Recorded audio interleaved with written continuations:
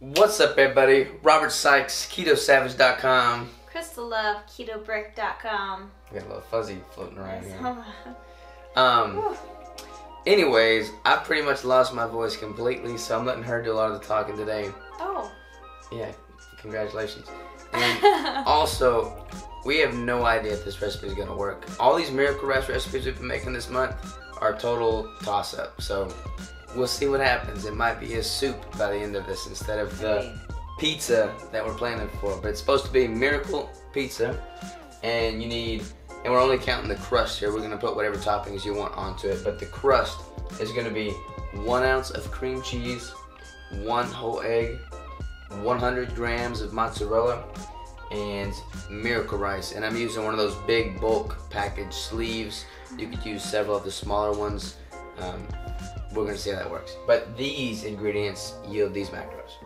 35 grams of fat, 33 grams of protein, 5 grams of carbs, which breaks down to 68% fat, uh, 28% protein, and 4% carbs.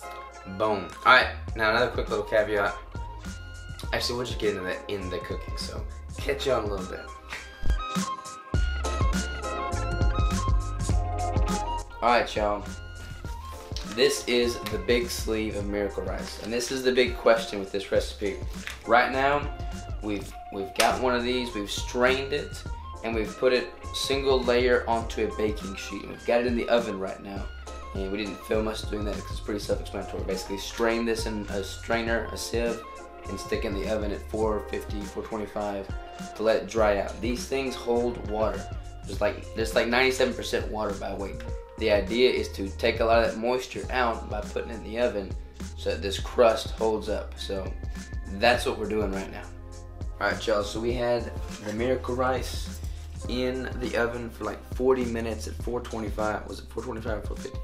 25. 425 and this is what it looks like it's still a little moist but i mean a lot of the moisture has been taken out of it so we're gonna just use this as our base and we're gonna make this into the crust so get ready Alright, so we got the cream cheese in there. We're going to put the cheese in there, and then we're to melt it in the microwave.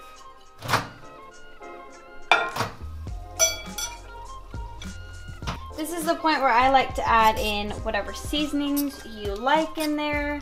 We're just to add in a little bit of Italian. You can add some salt, whatever you'd like. Go ahead and add in the miracle rice. you might you probably won't need the whole sleeve we're not counting the macros on that anyways since they're basically zero calorie And kind of just squish it in there. Alright, once that's all mixed in, you might have to reheat the cheese if it didn't blend very well or mix very well. And then go ahead and add the egg on top and mix it all up.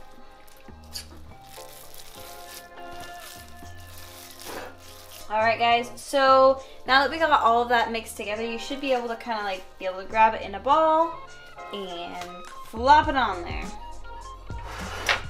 And then all we gotta do is spread it out. If it's a little bit hard for you to spread out, then you can use parchment paper to just use it to smooth out.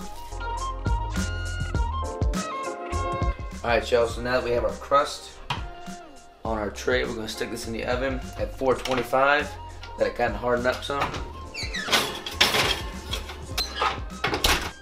All right, y'all. It has been in the oven at 425 for 20 minutes, starting to brown on top. That's what we're looking for. Let's take it out and doctor it up.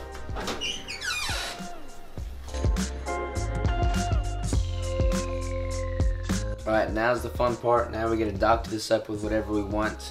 I'm gonna put some cheese, some pesto. This is really good pesto, and I'm gonna put some anchovies on there.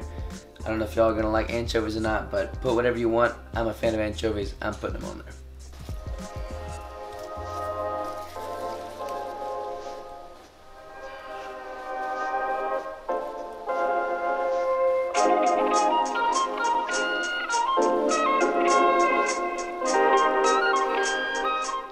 Y'all. Gonna stick it back in for another five, ten minutes or so. Let all those ingredients melt on top.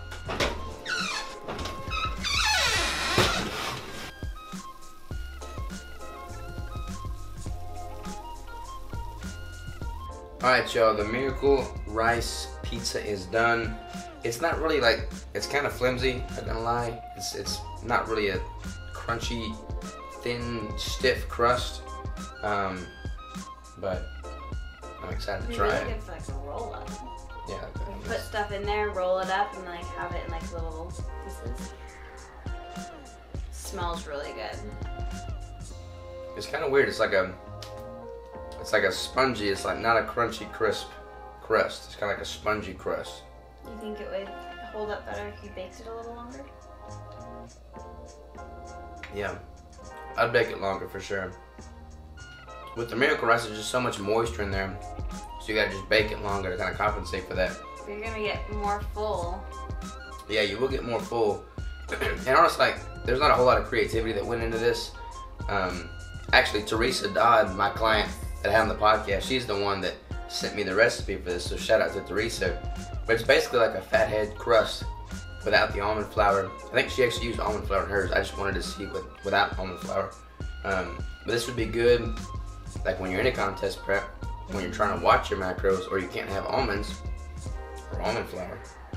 Yeah, there's like other things that you can you can um, kind of dry it up to with like um, psyllium husk powder or like a flaxseed or something like that. If you can't have nuts and you still want to make it a little bit more crunchy, Yeah, you can definitely add a powder to it to make it more crunchy. But smells it's not really bad. good. You get like the flavor of pizza, obviously. Um, so yeah, I'm about to chow down and eat this whole thing because the macros are low enough that I can do that because it's a miracle pizza. Miracle. Catch y'all later.